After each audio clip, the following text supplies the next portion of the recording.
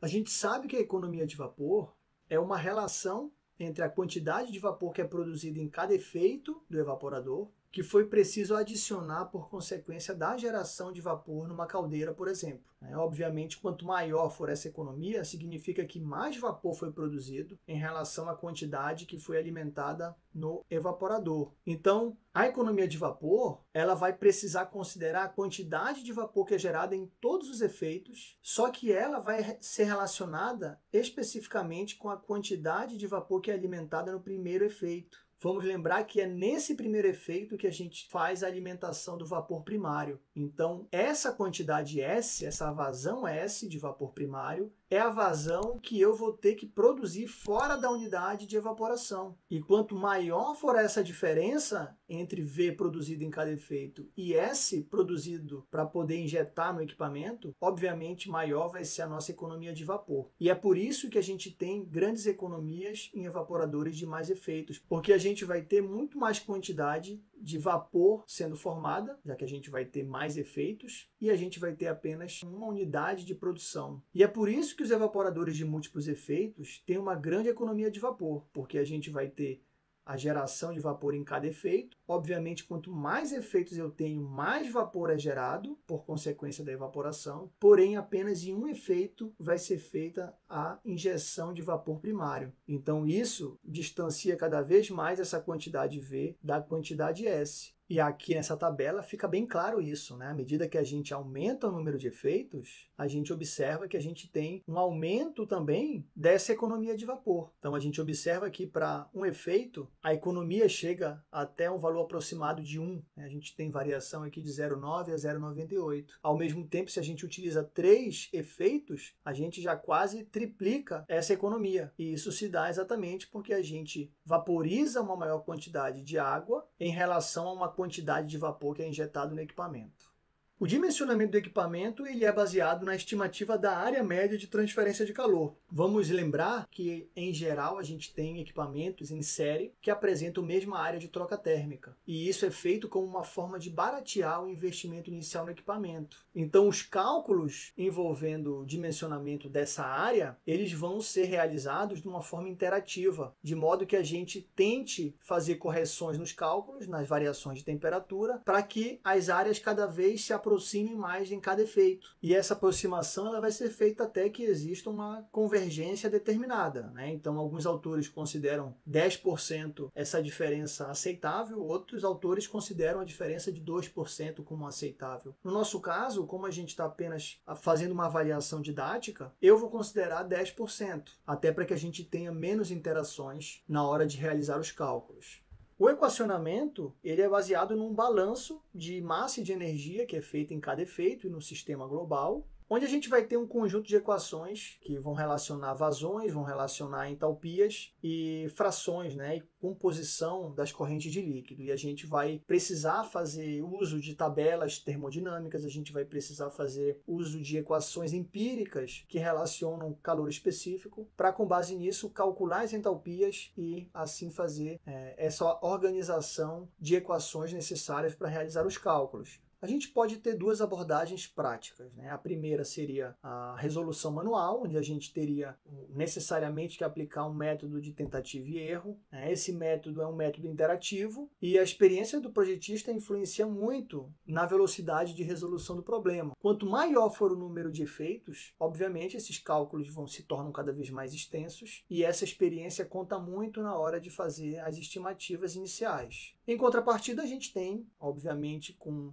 a presença de softwares disponíveis, simuladores, a gente pode fazer a resolução computacional, desde que haja é, algoritmos adequados para essa resolução. Né? Mas o fato é que a resolução computacional ela nem se compara em termos de praticidade e de velocidade com a resolução manual. Eu vou mostrar aqui o procedimento para fazer o cálculo envolvendo evaporadores com três efeitos e sem elevação no ponto de ebulição. Quando a gente considera um evaporador com dois efeitos, acaba se tornando uma simplificação muito maior do que eu vou mostrar aqui, porque a gente não vai ter um evaporador intermediário. Então, a gente conhecendo a temperatura do vapor de saturação, que é o vapor primário que a gente vai alimentar no primeiro efeito, e conhecendo a condição do último efeito, ou seja, do segundo efeito, a gente naturalmente determina a temperatura do efeito efeito 1 e com isso as interações acabam sendo menores. No caso de ter três ou mais, a gente já vai ter mais efeitos intermediários. E com isso, a gente tem incógnitas que a gente vai necessariamente precisar fazer estimativas para iniciar esses cálculos. Inicialmente, a gente vai conhecer a pressão no último efeito e a composição do produto que a gente deseja determinar. Como segundo passo, a gente realiza um balanço global de massa para determinar a quantidade de vapor que é gerada em cada efeito. Como a gente não sabe, a gente não tem ideia de quanto que vai ser gerado, a gente faz uma primeira aproximação de igualdade nessas quantidades de vapor que são geradas em cada efeito. Isso não quer dizer que na prática o que aconteça, a gente vai precisar fazer a verificação depois, e eu vou mostrar mais adiante.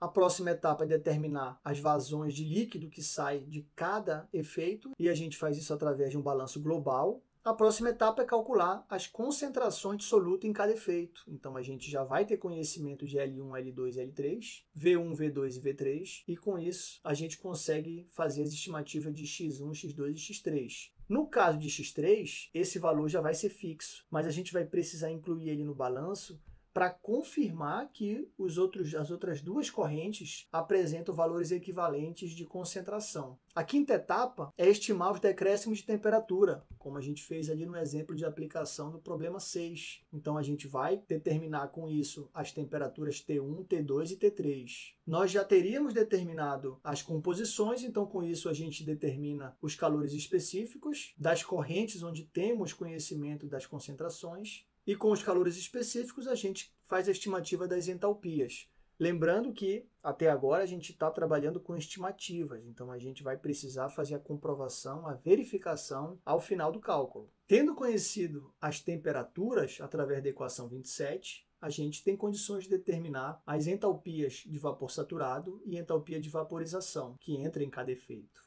Após isso, através do balanço de energia, a gente determina qual é a vazão máxima de vapor de aquecimento. Né? Só que esse vapor, a gente agora vai entrar no processo de verificação.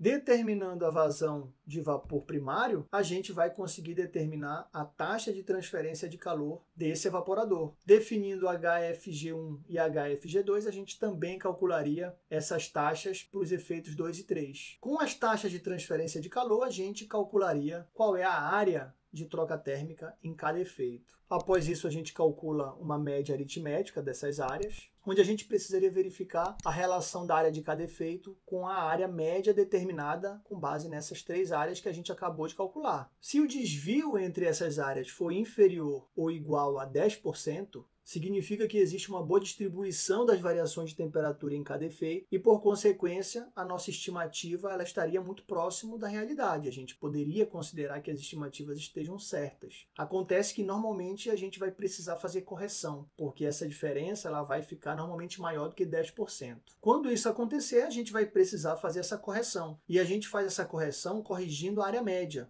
E essa correção da área média, ela é feita considerando as variações de temperatura em cada efeito, através da equação 32. Seria uma espécie de uma média ponderada. Com a área média corrigida, a gente corrige as variações de temperatura. A grande questão é encontrar qual é a variação de temperatura correta no equipamento. Se a gente trabalha com variações muito fora da variação que realmente ocorre no equipamento, a gente vai calcular áreas muito fora também. Então a gente faz agora o processo inverso. Com a área média corrigida, a gente determina qual é a variação de temperatura em cada efeito de uma forma corrigida também. O somatório dessas áreas corrigidas, ele não pode ser diferente de ΔT, porque a variação de ΔT vai ser TS menos T3, que normalmente a gente vai conhecer. Então a gente sabe ΔT. ΔT já está definido e ele não varia. O que pode variar é ΔT1, ΔT2 e ΔT3. O somatório desse ΔT corrigido, ΔT1, ΔT2 e ΔT3, tem que ser igual a ΔT, que tem que ser igual ao ΔT1, ΔT2 e ΔT3 que a gente estimou e que necessariamente vai precisar ser o mesmo, apresentar o mesmo valor.